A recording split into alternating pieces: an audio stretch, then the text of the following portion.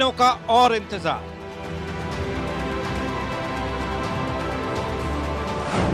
निर्भया को मिलने वाला है इंसान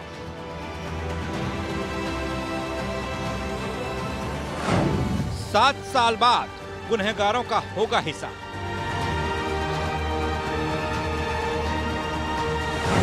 सुबह सात बजे फांसी पर लटकेंगे चारों गुनहगार। 22 तारीख को उनको फांसी होगी सात बजे और निर्भया को 22 तारीख को इंसाफ मिलेगा।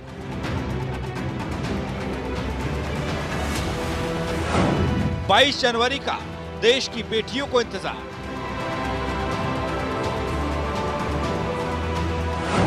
तिहाड़ जेल में मौत का फंदा तैयार।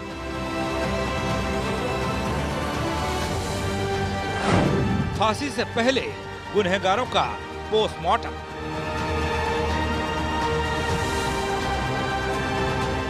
हैंग टिल डेथ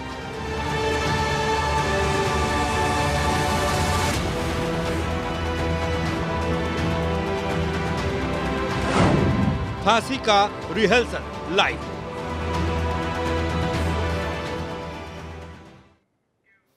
नमस्कार, आप देख रहे हैं हमारी खास पेशकश फांसी का रिहर्सल और मैं हूँ आपके साथ कुलदीप सिंह पठानिया 16 दिसंबर 2012 की उस काली रात को कोई नहीं भूल सकता।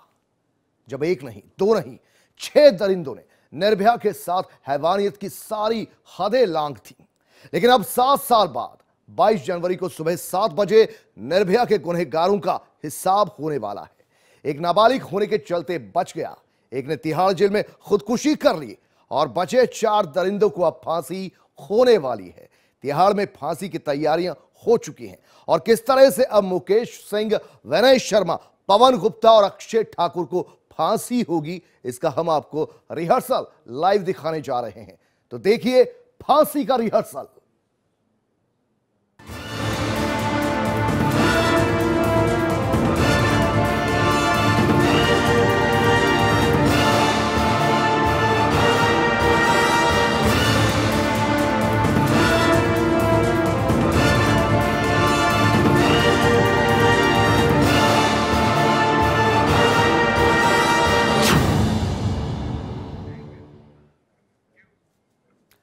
निर्भया गैंगरेप के दोषी विनय शर्मा और मुकेश सिंह की क्यूरेटिव पिटीशन याचिका, यानी सुप्रीम कोर्ट ने खारिज कर दी। इसी के साथ ही इन दोषियों को फांसी पर लटकाने का रास्ता भी साफ़ हो गया। विनय शर्मा, मुकेश सिंह के साथ पवन गुप्ता और अक्षय ठाकुर किस तरह से फांसी पर लटकेंगे, इसका रिहर्सल आपको लाइव दिखाएँगे। और यह बताएँगे आपको दरअसल कि आज क्या कुछ हुआ। आज क्यूरेटिव पिटीशन। पिछले हफ़्ते ही आपको बता दें कि डेथ वारंट जारी किया गया था और इसी दर्द से तिलमिलाए इन सभी आरोपियों में से दो आरोपियों ने क्यूरेटिव पिटीशन दाखिल की थी। मुद्दा था और ज़्यादा इस पूरे मामले को लटकाया जाए, लेकिन ऐसा हुआ नहीं। क्यूरेटिव पिटीशन चार दोषियों में से दो की खारिज कर दी सुप्रीम कोर्ट ने।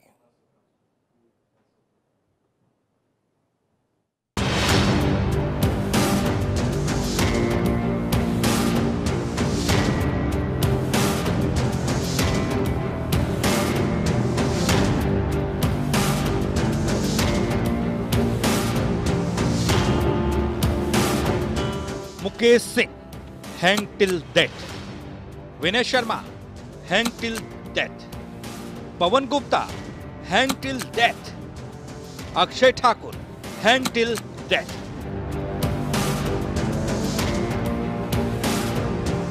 पूरे देश और सिस्टम को झकझोर देने वाले निर्भया गैंगरेप केस में अब इंसाफ और हिसाब का वक्त आ चुका है। सुप्रीम कोर्ट से चारों दोषी मुकेश सिंह, विनय शर्मा पवन गुप्ता और अक्षय ठाकुर की फांसी का रास्ता साफ़ है। तिहाड़ जेल में फांसी की तैयारी पूरी हो चुकी है।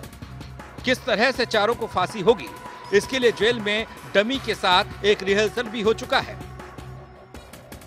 कैसे चारों फांसी के फंदे पर लटकेंगे, इसकी पूरी जानकारी दें। लेकिन इससे पहले आपको बता दें, निर्भया के कुल छह गुनेगार थे, जिनमें एक राम सिंह बस ड्राइवर था और इसने 11 मार्च 2013 को तिहाड़ जेल में खुदकुशी की थी। जबकि एक नाबालिग था, नतीजतन जुबेनाइल जस्टिस बोर्ड के तीन साल की अधिकतम सजा के साथ उसे सुधार केंद्र भेज दिया गया। दिसंबर 2015 में सजा पूरी करने के बाद उसे रिहा कर दिया गया। और बाकी बचे चार, अब 22 जनवरी को सुबह, सात साल बाद फांसी के फंदे पर लटका दिए जाएँगे।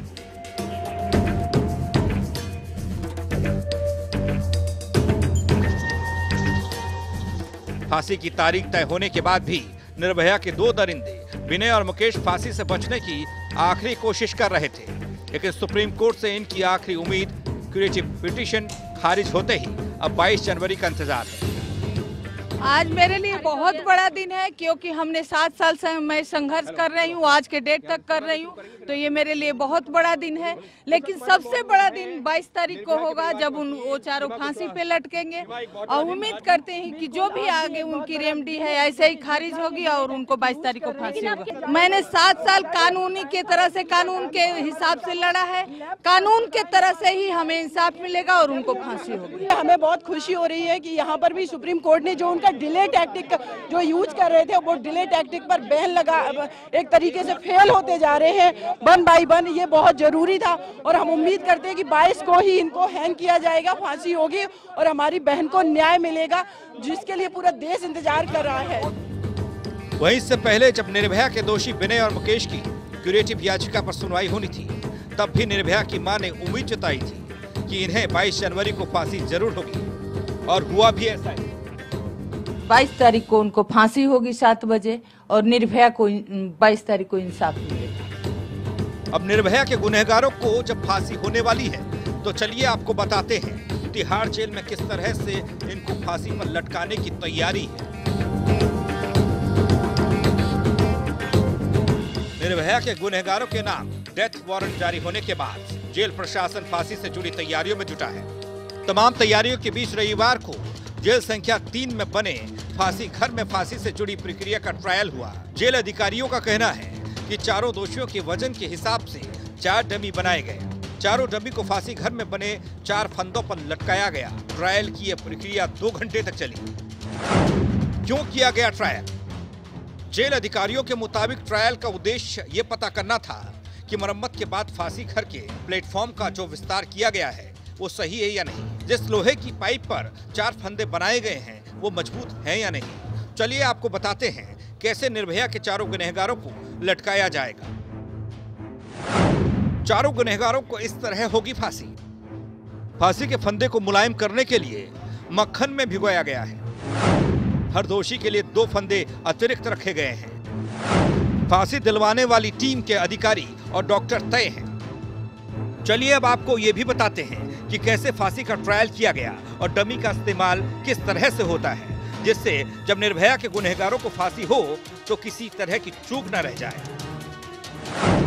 डमी को ईट और पत्थर से बनाया जाता है, वजनदार। तिहाड़ जेल के नियम के मुताबिक, डमी का वज़न दोषी के वज़न का डेढ़ गुना होता है। दोषियों के वज़न के आधार पर जेल प्रशासन ने चार डमी तैयार की। डमी में दोषी के वज़न का डेढ़ गुना बनाने के लिए इसमें ईट और पत्थर के टुकड़ों का इस्तेमाल किया गया। इस दौरान जिस रस्सी का इस्तेमाल किया गया उसकी मोटाई तय नियमों के मुताबिक करीब पौने तीन सेंटीमीटर थी। ट्रायल की प्रक्रिया के दौरान डमी को करीब एक घंटे तक लटकाए रखा गया। फांसी पर लटकाने के दौरान चौथे दोषी के लिए बने नए प्लेटफॉर्म में नए तख्त का भी ट्रायल हुआ। वज़न और लंबाई के मुताबिक तय होती है लटकने की सीमा। फांसी के फंदे पर लटकाने से जुड़ी प्रक्रिया में दोषी के वज़न और उसकी लंबाई का बड़ा महत्व है। फांसी का फंदा जिस लोहे की बिम पर लगा हुआ होता है, वहाँ से लंबाई और वज़न के हिसाब से गर्दन में लगे फंदे के लटकने की लंबाई तय होती है। मान लीजिए, दोषी का वज़न अगर 45 किलोग्राम या इससे कम है तो उसे प्लेटफॉर्म से 2.4 मीटर नीचे लटकाया जाएगा। 60 किलोग्राम से 75 किलोग्राम के बीच दोषी का वज़न है तो ये लंबाई घटकर दो दशमलव एक तीन मीटर हो जाएगी। पिछहत्तर किलोग्राम से 90 किलोग्राम वाले दोषियों के लिए ये सीमा एक दशमलव नौ आठ मीटर है। दोषी का वज़न 90 किलोग्राम से अधिक है तो ये सीमा घटकर एक दशमलव आठ तीन हो जाती है। तो देखा आपने किस तरह से 22 जनवरी को सुबह सात बजे निर्भया के चारों दोषियों को फांसी होगी। लेकिन इस सब के बीच जब निर्भया की माँ से एक गुनहगार की दया याचिका पर सवाल पूछा गया तो उन्होंने क्या कहा? सुनिए। सुप्रीम कोर्ट का एक गरिमा है, सुप्रीम कोर्ट, देश की सर्वोच्च न्यायालय है, सुप्रीम कोर्ट ने उनको दो दो बार उनकी फांसी बरकरार रखी है। तो इस केस में और भी केस में सुप्रीम कोर्ट का ही फैसला मान्य होना चाहिए। राष्ट्रपति के पास दया आज का हो, जाए। तो एक समय निर्धारित हो कि इतने दिन में, हफ़्ते दिन में, दस दिन में या सात दिन में खारिज हो। और मुजरिमों को फांसी हो। क्योंकि जो ये दया आज का क्यूरी आज का क्या क्या लग, जो है ये सुप्रीम मुजरिमों को सपोर्ट करता है और विक्टिमों को अधिकार का हनन होना होता है। भले ही निर्भया को इंसाफ मिलने में सात साल का वक्त लग गया हो लेकिन एक बात तो साफ़ है 22 जनवरी के दिन इस देश में बहुत कुछ बदलने वाला है क्योंकि एक दिन एक वक्त पर एक जेल में जब चार दरिंदे फांसी पर लटकेंगे तो ऐसे दरिंदों में डर ज़रूर होगा। Bureau report R nine TV Uttar Pradesh, Uttarakhand.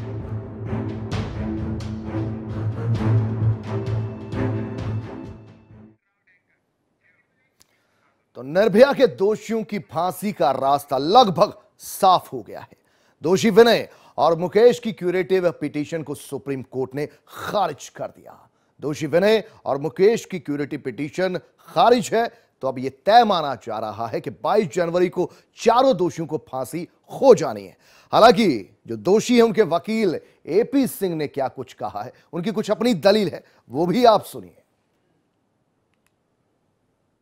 कानूनी रूप से जो 2017 से 2019 तक के वो 17 केसेस का हवाला दिया है, जिनमें पाक्सो थी, जिनमें मर्डर था जिनमें छः सात, आठ साल की बच्चियों के साथ हत्या थी, जो फांसी की सज़ा हाई कोर्ट ने की थी, उनको सुप्रीम कोर्ट ने लाइफ इम्प्रजनमेंट में कमिट किया है। हमारे वो पास भी हवाले हैं, लेकिन हमारे पास वो हवाले नहीं हैं, जैसे पंजाब के मुख्यमंत्री राजोदा की फांसी की सज़ा को कम कराने के लिए गृह मंत्री से मिलने आ गए। हमारे पास ना क्षेत्रवाद का मुद्दा है, ना भाषावाद का मुद्दा, ना संप्रदायवाद का मुद्दा है, ना ये आतंकवादी हैं। हाँ ये इनमें से होते कोई क्षेत्रवाद, जातिवाद, भाषा, संप्रदाय, धर्म की बात होती, या आतंकवादी होते तो इस देश देश का एक तबका, इस देश की एक मीडिया, वो उनको बचाने के लिए आगे आती, वो उनके लिए खड़ी होती। लेकिन हमारे लिए अच्छी बात है, ये कोई आतंकवादी नहीं है और हमें सुप्रीम कोर्ट पर पूरा भरोसा है, जो